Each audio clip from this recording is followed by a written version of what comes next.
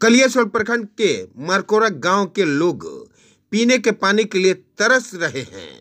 इस स्कूल में पाँच बार बोरिंग किया गया लेकिन पानी नहीं निकला। वजह नीचे सुरंग है। आइए सुनते हैं गाँव वाले क्या कह रहे हैं।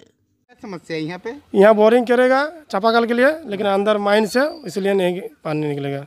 शामपुर भी को मैनेजर को बोले एजेंट जीएम को बोले तू बोला बोल रहा है कि नहीं बहुत पुराना फेस है। हम लोग नहीं है इनक्लाइंट अब अगर उसका नहीं है इनक्लाइंट हो तो इंग्रेज तो यहाँ इनक्लाइंट नहीं करके गया है। हाँ, तो पाँच बार बोरिंग इस स्कूल में हुआ है। ये जो जहाँ गाय बंधी है वहाँ दो बार। यहाँ दो बार। और?